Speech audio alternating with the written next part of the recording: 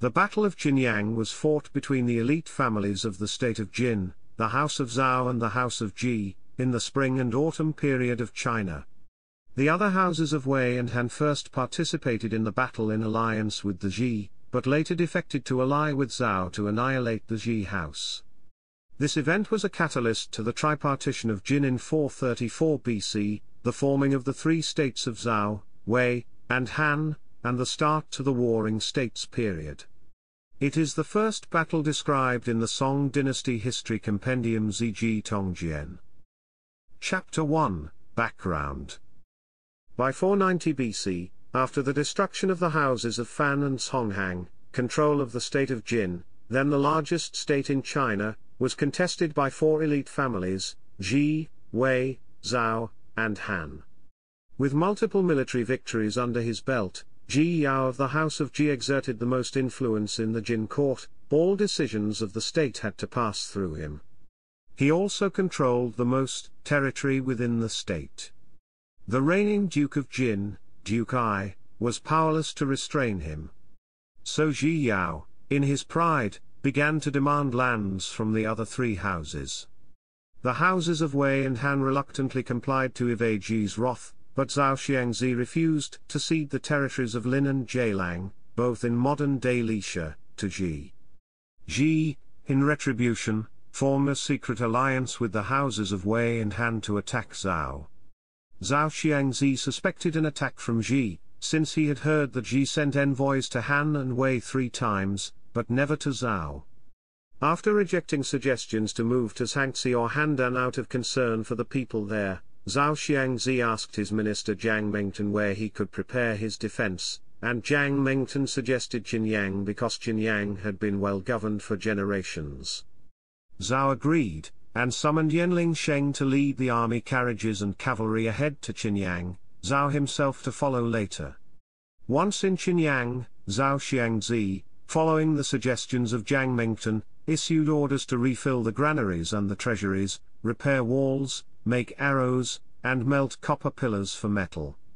By virtue of past governance, the treasuries, granaries, and arsenals were filled within three days, and the walls repaired within five. Thus all of Jinyang was prepared for war.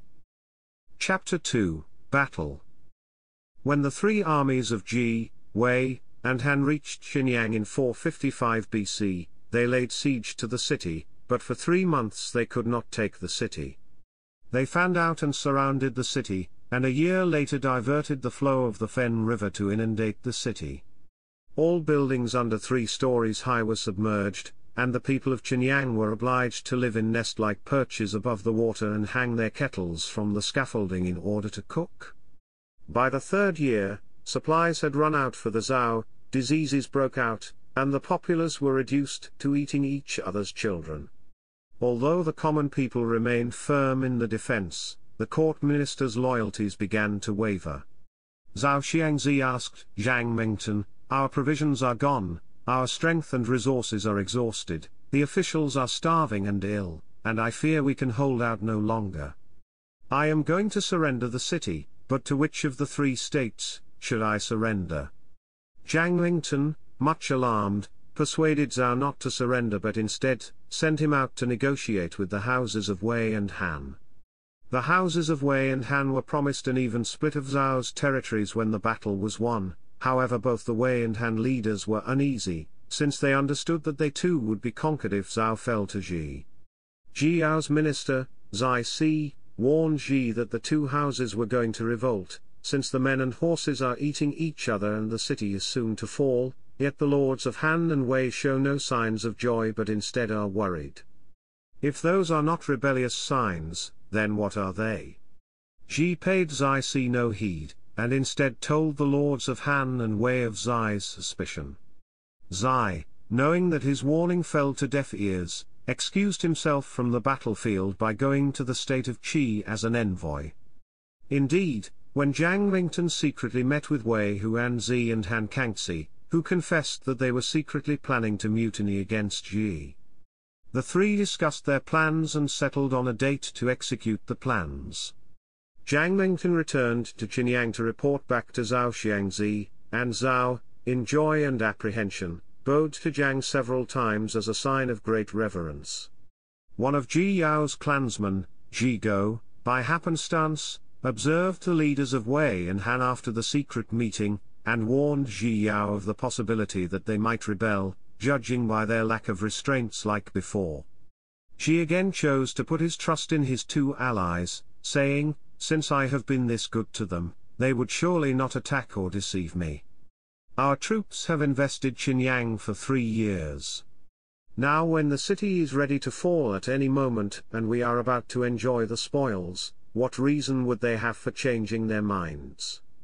Zhi told Wei and Han what Guo said, and the two learnt to be cautious when they saw Guo the next day. Guo, seeing the change in their looks, insisted to Zhi Yao that the two ought to be executed. Zhi Yao would not hear of it, and Guo suggested another plan to buy their friendship, to bribe the influential ministers, Zhao Jia of Wei and Duan Gui of Han with enfeoffment of the Zhao lands. Zhi Yao rejected the proposal because the Zhao lands were going to split in three already, and he did not want to receive less than one-third of the eventual spoils. Since Zhi Yao would not listen, Guo left him and changed his surname to Fu as a precaution.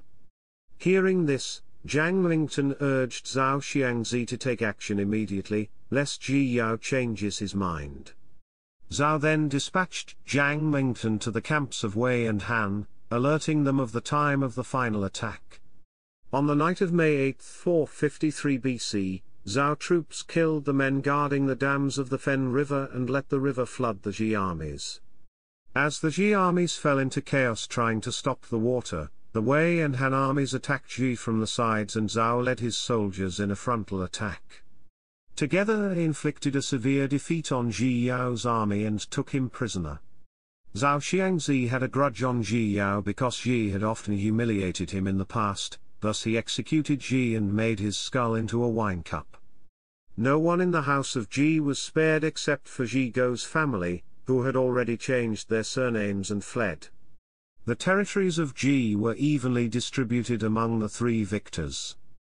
Chapter 3 Aftermath With the elimination of the Zhi house, control of the state of Jin fell to the remaining three families, their powers unchecked by anyone in the state. In 434 BC, following the death of Duke Ai, the three families annexed all of Jin's lands, leaving only the capital estates of Jiang and Qua for the next Duke of Jin. In 403 BC, the Wei, Zhao and Han lords all went to King Weilie of Zhou in Luoyang and were made marquises in their own right, establishing the three states of Zhao, Wei, and Han, ushering in the beginning of the Warring States period by Sima Guang's definition. Most historians, when referring to those three states, call them the three Jins.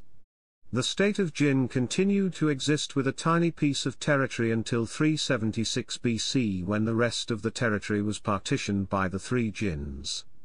The legalist thinker Han Feizi of the late Warring States period used this battle as an example of failure via greed and perversity, one of the ten faults that a ruler should not have. He reasoned that because Zhi Yao was too fond for profit, he opened himself to the destruction of the state and his own demise. The Song dynasty statesman Sima Guang, in his Yi Tongjian, attribute Zhi Yao's failure to his lacking virtue compared to his talents, and thus invited disaster.